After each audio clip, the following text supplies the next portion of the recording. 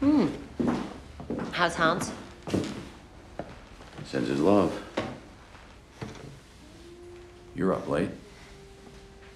So did you call the director's office? Mm-hmm. Hmm. It's between me and another person. Who? I don't know. My inside man thinks telling half a secret makes him coy or something. But he did say that if I can pull this off, the desk is mine. And will you pull it off? Of course. I'll get your glass then.